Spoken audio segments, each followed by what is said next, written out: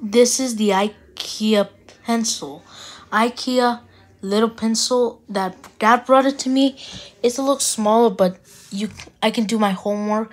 I can write stuff. I can do addition, or I can do many things with this IKEA little pencil that dad brought for me. and this is where I can do my homework, but it says www at ikea.com. And just what that brought me.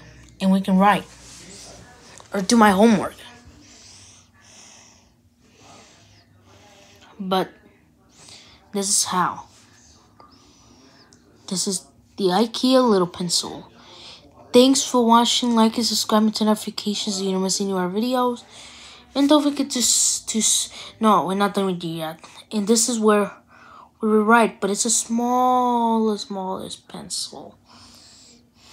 Yeah. But thanks for watching. Like and subscribe to turn notifications so you don't miss any of our videos. But goodbye.